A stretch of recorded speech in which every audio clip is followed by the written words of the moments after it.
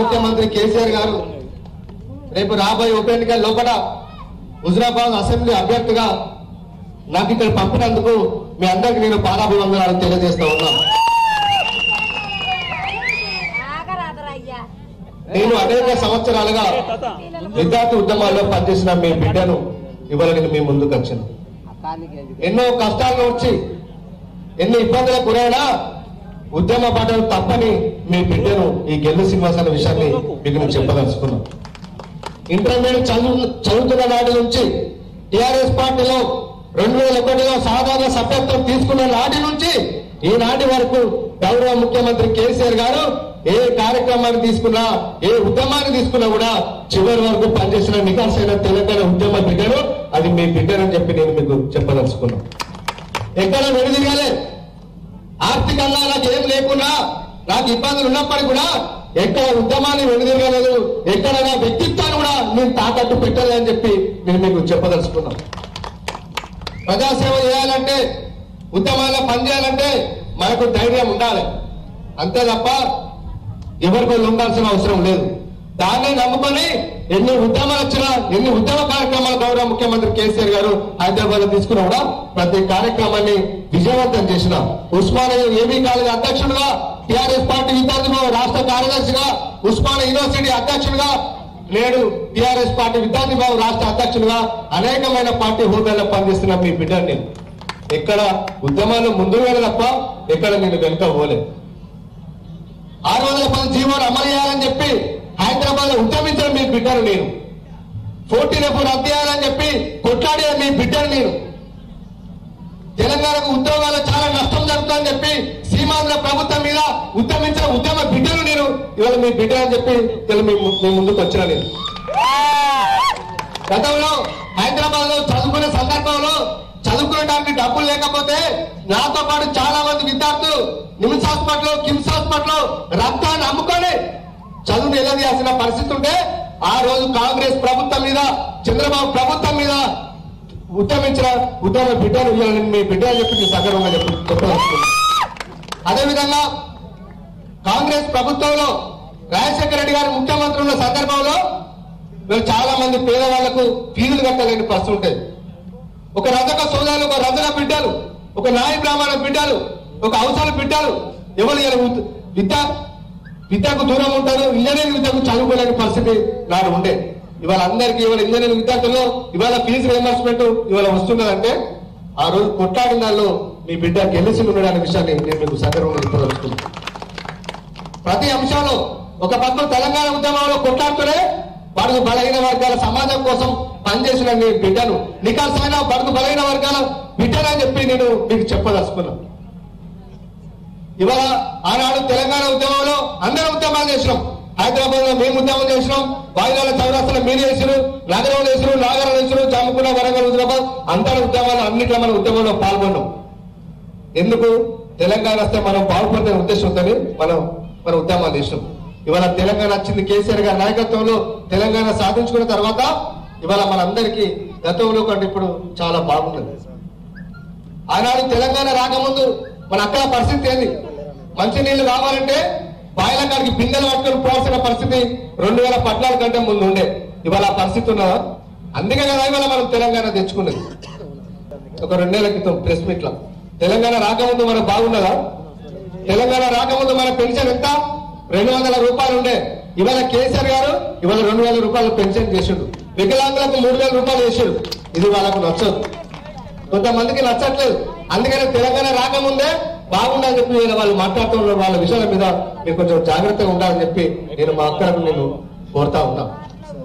కేసీఆర్ గారు రెండు వేల పద్నాలుగులో తెలంగాణ రాష్ట్రాన్ని సాధించిన తర్వాత మొదటి శాసనసభలో చెప్పిండు తెలంగాణలో తెలంగాణ ఉద్యమే నీళ్ళు నిధులు నియామకాల మీద జరిగింది కాబట్టి ఈ రంగాల్లో మూడు రంగాల్లో బాగు చేయాలనే ఉద్దేశంతో మన ప్రియతమ ముఖ్యమంత్రి కేసీఆర్ గారు ఒక ట్యాగ్ ఉద్యమ ట్యాగ్ లైన్ పెట్టుకొని ఇవాళ పనిచేస్తా ఉంటారు. ఇవాళ నీళ్ళ సమస్య తీరింది. గతంలో మనకు నీళ్ళు కావాలంటే ఎంత దూరం ఉన్నా కనీసం హాఫ్ కిలోమీటర్ దూరం ఉన్నప్పుడు అక్కడి నుంచి పైపులు వేసుకొని వాళ్ళు డబ్బులు ఇచ్చి మనం చేతులు పాలించుకునే పరిస్థితి గతంలో ఉండే. ఇవాళ ఉండదా ఇవాళ ఇరవై నాలుగు గంటలు ఇవాళ మనకు కెనాల పొట్టి మనకు నీళ్ళు వస్తున్నాయి. గతంలో బాయిలు నవ్వాలంటే ఏడెనిమిది ఊళ్ళలో బాయిలు నవ్వుతా కానీ ఊట బావు లేని నీళ్ళు లేని పరిస్థితి గతంలో ఉండే.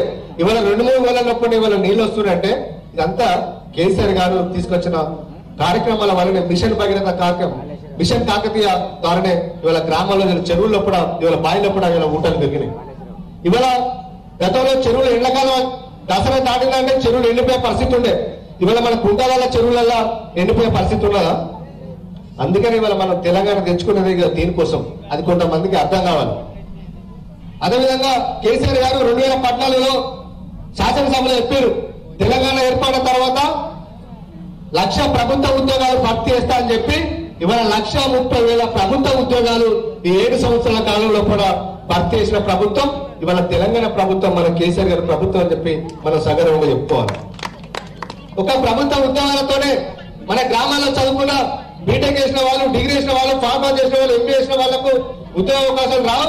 ప్రైవేట్ రంగంలో కూడా వీళ్ళను బాగా సెట్ చేయాలనే ఉద్దేశంతో ప్రియతమ ముఖ్యమంత్రి కేసీఆర్ గారు అదేవిధంగా మంత్రి కేటీఆర్ గారు కొత్త పారిశ్రామిక పాలసీని తీసుకురావడం వల్ల ఇవాళ జాతీయ అంతర్జాతీయ స్థాయి కంపెనీలు యాపిల్ గాని అమెజాన్ గాని గూగుల్ లాంటి కంపెనీలు వచ్చి ఇవాళ హైదరాబాద్లో పెట్టుబడులు పెట్టడం వల్ల ఇవాళ మన యువతకు దాదాపు పదిహేను లక్షల మందికి ఇవాళ ప్రైవేట్ రంగంలో మంచి మంచి సాలీలతో మినిమం యాభై నుంచి మొదలుకుంటే లక్ష యాభై వేల వరకు జీతాలు ఇచ్చే కంపెనీలు ఇవాళ హైదరాబాద్ వచ్చిందంటే ముఖ్యమంత్రి కేసీఆర్ గారికి ఈ తెలంగాణలో యువతను బాగు చేయాలని ఎంత చిత్తశుద్ధితో ఆలోచన చేస్తున్నారో ఈ విషయాన్ని మీరు ఆలోచన చేయాలని చెప్పి మేము కోరుతా ఉన్నాం.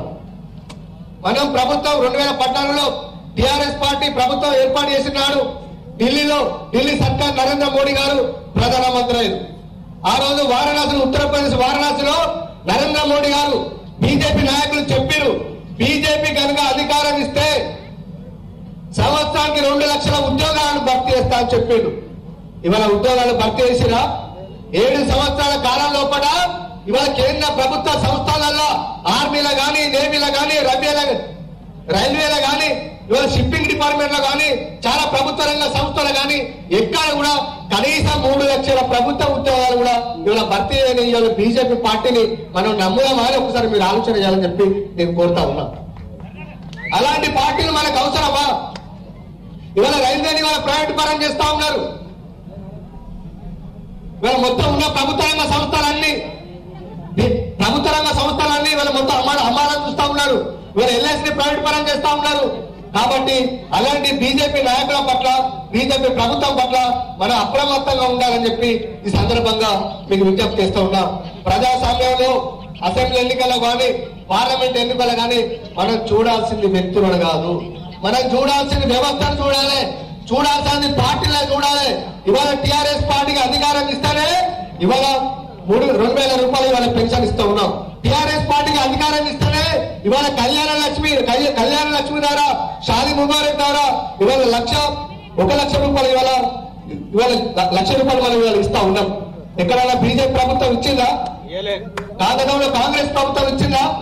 ఇవాళ పద్దెనిమిది రాష్ట్రాల్లో కూడా ఇవాళ బీజేపీ అధికారంలో ఉన్నది. బీజేపీ పొత్తు బీజేపీ అధికారం ఉన్నది. ఎక్కడ ఏ రాష్ట్రంలో కూడా ఇవాళ కళ్యాణ లక్ష్మి లేదు. ఐదు రాష్ట్రాల్లో ఇవాళ కాంగ్రెస్ ప్రభుత్వం ఉన్నది. ఎక్కడ కూడా కళ్యాణ లక్ష్మి లేదు. ఎక్కడ కూడా మిషన్ భగీరథ లేదు. ఇవాళ తెలంగాణ రాష్ట్రంలోనే ఇవాళ మిషన్ భగీరథ ఉన్నది ఇవాళ మిషన్ భగీరథ కార్యక్రమం అంటే ఇంటికి నల్ల నీళ్ళు ఇవ్వడం అంటే ఆశామాసి ఆషామాషి పథకం కాదు.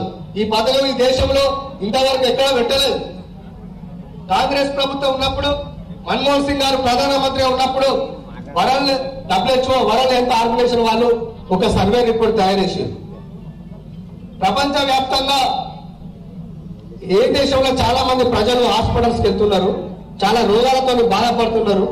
ముప్పై ఏళ్ళకే ముప్పై ఏళ్ళకే నలభై ఐదు ఏళ్ళు వచ్చినట్టుగా యాభై ఏళ్ళు వచ్చినట్టుగా ఎందుకు ప్రజలు ఉన్నారనే విషయం మీద వాళ్ళొక సర్వే చేస్తే ఎక్కువ మన భారతదేశంలో అటు ఆఫ్ఘనిస్తాన్లో అటు పాకిస్తాన్లో చాలా మంది హాస్పిటల్ వెళ్తున్నారు చాలా రోగాలతో బాధపడుతున్నారని చెప్పి వాళ్ళకు సర్వేశారు దానికి ప్రధానమైన కారణం ఏంటంటే సరి అయిన మంచినీళ్ళు తాగకపోవడం వల్లనే ఇవాళ ప్రజలు ఇలా ఆర్థిక ప్రజలు అనారోగ్యానికి గురవుతున్నారు భారతదేశంలో ఆఫ్ఘనిస్తాన్లో పాకిస్తాన్ అని చెప్పి వాళ్ళకు రిపోర్ట్ ఇస్తే గతంలో ఏ ప్రభుత్వం ఆనాడు కాంగ్రెస్ ప్రభుత్వం పట్టించుకోలేదు ఇక్కడ ఉన్న మోడీ ప్రభుత్వం కూడా ఇప్పుడు కూడా ఇక్కడ పట్టించుకోలేదు.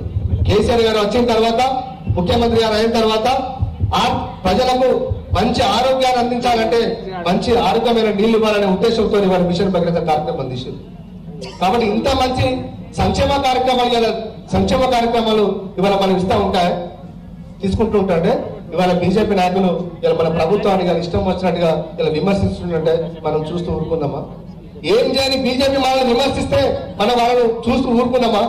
ఒకసారి మీరు ఆలోచన చేయాలని చెప్పి కోరుతా ఉన్నారు ఎప్పటికైనా తెలంగాణకు తెలంగాణ ప్రభుత్వాన్ని తెలంగాణ ప్రజలకు టిఆర్ఎస్ పార్టీ శ్రీరామ రక్ష కేసీఆర్ గారి నాయకత్వమే శ్రీరామ రక్ష అని చెప్పి మీకు విజ్ఞప్తి చేస్తూ రాబోయే రోజుల్లో కూడా ఎన్నికల సమయంలో మీ ఇంటింటికి వస్తాం మీ గడప గడపకు వస్తాం.